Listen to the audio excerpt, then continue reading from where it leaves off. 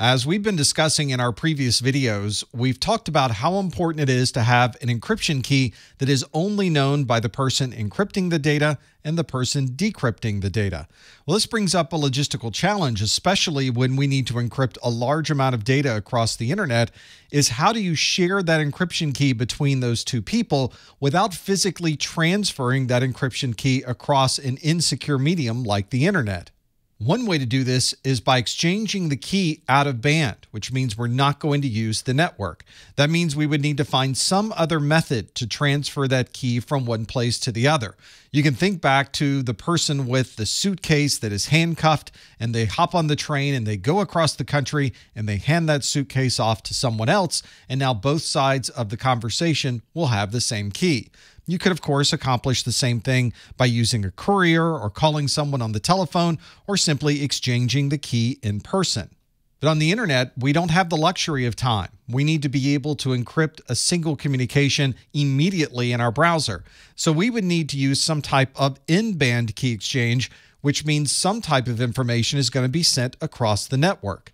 Sometimes you can do this by using additional encryption mechanisms. For example, you could use asymmetric encryption to encrypt a symmetric key, send that asymmetrically encrypted key to a third party, and they can decrypt it to obtain the symmetric key.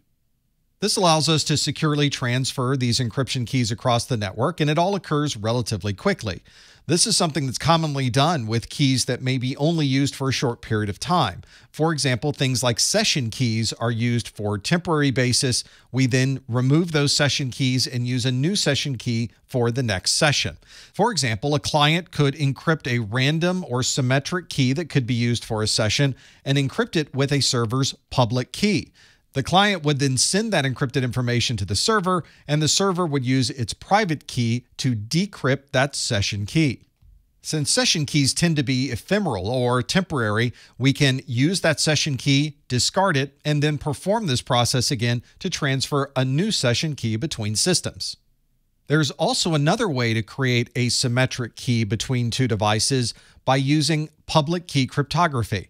This is something that would allow us to create the same symmetric key on both sides of the conversation without sending the symmetric key across the network. Here's how this works. We would start with Bob's side. Bob obviously has a private key that no one has but Bob.